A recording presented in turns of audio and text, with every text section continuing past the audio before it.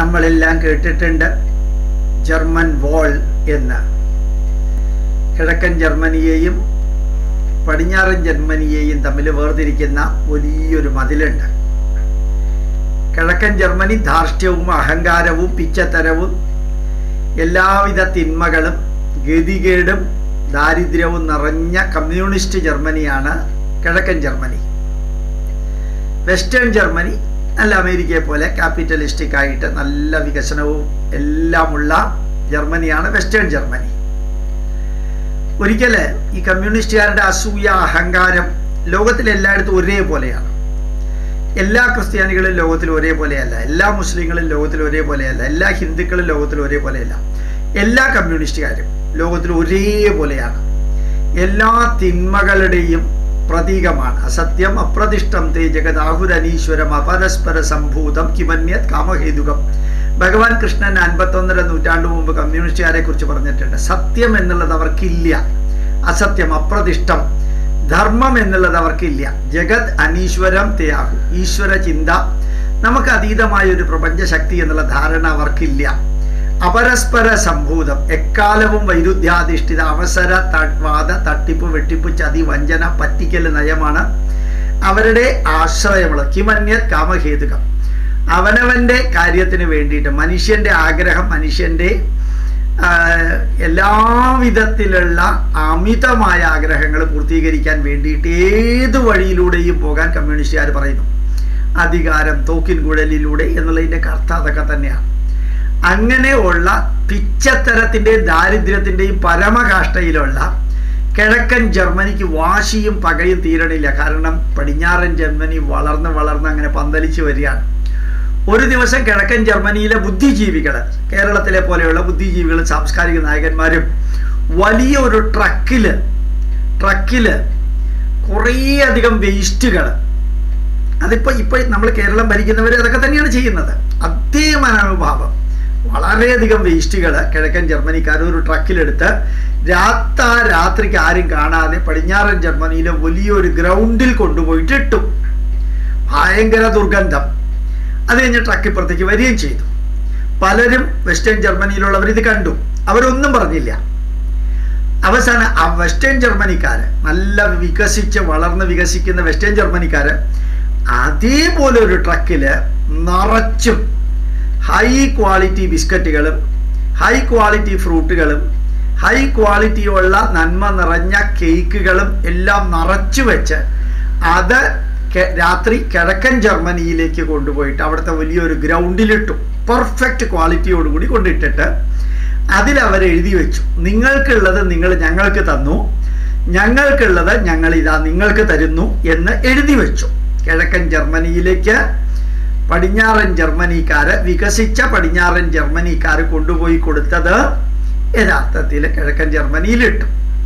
പിന്നെ തൊലിക്കട്ടിയും കണ്ടാമൃഗത്തിന്റെ തൊലിക്കട്ടിയൊക്കെയുള്ള കമ്മ്യൂണിസ്റ്റുകാരാണ് കിഴക്കൻ ജർമ്മനിയിലുള്ളത് കൊണ്ട് അവരതെടുത്ത് ഫ്രീ ആയിട്ട് തിന്നുക അല്ലാണ്ട് വേറൊന്നും ചെയ്തില്ല.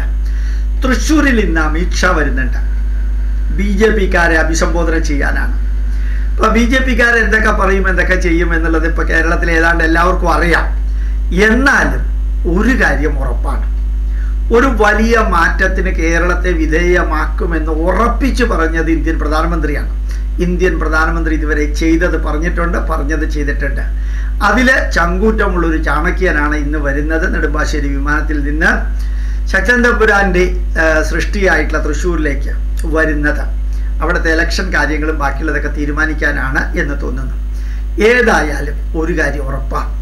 കേന്ദ്ര ഗവൺമെന്റ് കേരളത്തിന് വേണ്ടി ചെയ്തിരിക്കുന്ന എല്ലാ നന്മകളും കേരളത്തിൽ ശരവർഷം മഴ പെയ്യുന്ന മാതിരി ജനങ്ങളിലേക്ക് എത്തിക്കുക.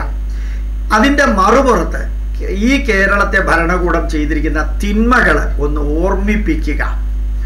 ഒരു നോട്ടീസ് ഇത്രയുള്ള ഒരു നോട്ടീസ് മുക്കാലടി ഉയരൾ നീളമുള്ള ഏതാണ്ട് ഏതാണ്ട് ഒരു അരയടി വീതിയുമുള്ള നല്ല ക്വാളിറ്റി പേപ്പറിൽ ആൾക്കാർക്ക് വായിക്കാൻ സാധിക്കുന്ന രീതിയിൽ ഒന്ന് രണ്ട് മൂന്ന് നാല് എന്ന് പറഞ്ഞ് ഞങ്ങൾ കേന്ദ്രം ഭരിക്കുന്ന B J P government Kerala കേരളത്തിന് എന്ത് നൽകി എന്നുള്ളതും ഇവിടെയുള്ള കിഴക്കൻ ജർമ്മനിയുടെ സ്വഭാവമുള്ള ഇവിടുത്തെ ഭരണകൂടം കേരളത്തിന് എന്താണ് നൽകിയത് എന്നുള്ളതും രണ്ട് വശത്തും എണ്ണി എണ്ണി പറഞ്ഞ് ഒരിക്കലത് പ്രിന്റ് ചെയ്താൽ അത് കേരളം മുഴുവൻ എത്തിക്കാൻ വാർഡ് തലത്തിലുള്ള നന്മ നിറഞ്ഞ വ്യക്തികളെ വാർഡിലെ പ്രസിഡന്റായിട്ടും അദ്ദേഹത്തിന് താല്പര്യമുള്ളവരെ സപ്പോർട്ടിംഗ് ആയിട്ടുള്ള കമ്മിറ്റി അംഗങ്ങളാക്കിയും കേരളത്തെ എങ്ങനെയാണോ അടിമുടി മാറ്റിയത്.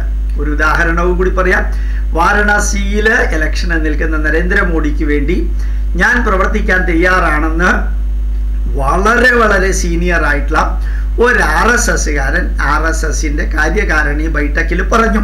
വാരണാസിയിൽ നരേന്ദ്രമോദിക്ക് വേണ്ടി പ്രവർത്തിക്കാൻ ഞാൻ തയ്യാറാണ് എന്ന് പറഞ്ഞു. അപ്പം അദ്ദേഹത്തിനോട് ആർ എസ് എസിന്റെ നേതൃത്വം പറഞ്ഞത് നിങ്ങൾ വാരണാസിയിൽ പോവണ്ട. നിങ്ങൾ ബംഗാളിൽ പോകും. ബംഗാളിലെ ഇലക്ഷന് പ്രവർത്തിക്കും. അപ്പം അദ്ദേഹം പറഞ്ഞു എനിക്ക് ബംഗാളി അറിഞ്ഞൂടാ. എനിക്ക് ബംഗാളിലെ ഒന്നും അറിഞ്ഞൂടാ. മാത്രമല്ല അവിടെ എനിക്ക് പരിചയക്കാരും ആരുമില്ല. അറിയപ്പെടുന്നവരാരുമില്ല. അപ്പം അദ്ദേഹത്തിനോട് പറഞ്ഞത് പരിചയക്കാരില്ല ഭാഷ അറിഞ്ഞൂടാ. അവിടെ ഉള്ളവരുടെ കമ്മ്യൂണിസം മനോഭാവം പിന്നെ തൃണമൂൽ കോൺഗ്രസിന്റെ മനോഭാവം ഇങ്ങനെയുള്ള നെഗറ്റീവുകളെയാണ് നമുക്ക് മാറ്റിയെടുക്കേണ്ടത്. വാരണാസിയിൽ നരേന്ദ്രമോദി ജയിക്കുമെന്ന് ഉറപ്പുള്ള സ്ഥലത്ത് ജയിപ്പിക്കുമെന്ന് ഉറപ്പുള്ള ആൾ പോവണ്ട. നിങ്ങൾ മറ്റ് സ്ഥലത്ത് പോയാൽ മതി. അങ്ങേര് ആ മനുഷ്യൻ അക്ഷരാർത്ഥത്തിൽ ബംഗാളിൽ പോയി. ഒന്ന് രണ്ട് വീടുകളിൽ ജയ് ശ്രീരാം എന്ന് പറഞ്ഞ് കയറി ജയ് ശ്രീരാം എന്ന് പറഞ്ഞതോടുകൂടി പഴയകാല കമ്മ്യൂണിസ്റ്റുകാരോ എന്തൊക്കെയോ ആയിരുന്ന വീട്ടുകാരും ജയ് ശ്രീരാം പറഞ്ഞ് തൊഴുത് സ്വീകരിച്ചു. അവിടെ നിന്ന് ആ മനുഷ്യൻ പ്രവർത്തനം ആരംഭിച്ചു.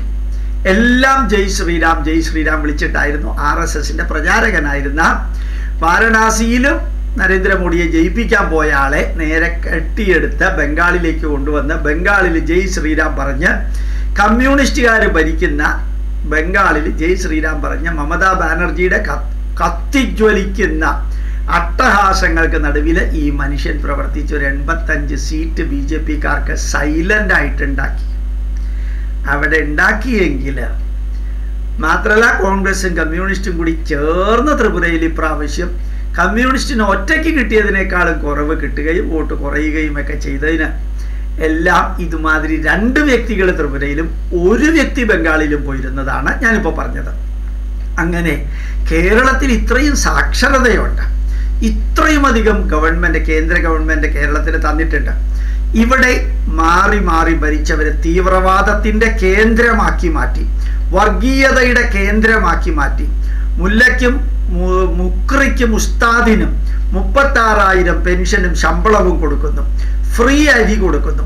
ഇതെല്ലാം ഒരു ഹിന്ദുവിനെ അവഹേളിച്ച് മുസ്ലിം ക്രിസ്ത്യാനികൾക്ക് പോലും കൊടുക്കാതെ വർഗീയതയുടെ പരമകാഷ്ടയിൽ പോപ്പുലർ ഫ്രണ്ടിന്റെ സ്ഥിരാകേന്ദ്രമാക്കി പാകിസ്ഥാനെ ലോക തീവ്രവാദത്തിന്റെ കേന്ദ്രമാക്കിയതുപോലെ കേരളം ഭാരതത്തിന്റെ തീവ്രവാദ കേന്ദ്രമാക്കി മാറ്റിയത് ഇവരാണ്. ഇവർ ചെയ്തതെല്ലാം എണ്ണി എണ്ണി പറഞ്ഞ് ജനങ്ങളുടെ മുമ്പിൽ എത്തിക്കണം. നന്മകൾ എങ്ങനെയാണോ വെസ്റ്റ് ജർമ്മനി ഈസ്റ്റ് ജർമ്മനി കൊണ്ടിട്ടത്? തിന്മകൾ എങ്ങനെയാണോ ഈസ്റ്റ് ജർമ്മനി വെസ്റ്റ് ജർമ്മനി കൊണ്ടുപോയിട്ടത്? അങ്ങനെ യഥാർത്ഥത്തിൽ കേന്ദ്രം നൽകിയ നന്മകളും സംസ്ഥാനം ചെയ്തുകൊണ്ടിരിക്കുന്ന തിന്മകളും എണ്ണി എണ്ണി വാർഡ് തലത്തിൽ ചങ്കൂറ്റത്തോടു കൂടി പറയാനും പ്രചരിപ്പിക്കാനും കപ്പാസിറ്റിയുള്ള ഉറങ്ങിക്കിടക്കാത്ത ഒരു നല്ല നേതൃത്വമാണ് അണ്ണാമലയെ പോലെ കേരളത്തിലുള്ളതെങ്കിൽ ഉറപ്പ് വലിയ മാറ്റം വരും എന്ന് എനിക്ക് തോന്നുന്നോ തോന്നുന്നില്ലയോ എന്നുള്ളതല്ല. നരേന്ദ്രമോദിക്ക് തോന്നി എന്നുള്ളതും ആ തോന്നൽ പ്രാവർത്തികമാക്കാനുള്ള ഒരുവൻ ഇന്ന് അമിത്ഷാ തൃശ്ശൂരിലേക്ക് വരുന്നുണ്ടെന്നുള്ളതും അത് കൈകൂട് എന്ന് പറയുന്ന മാതിരിയുള്ള കിടിലൻ പരിപാടിയാണ്.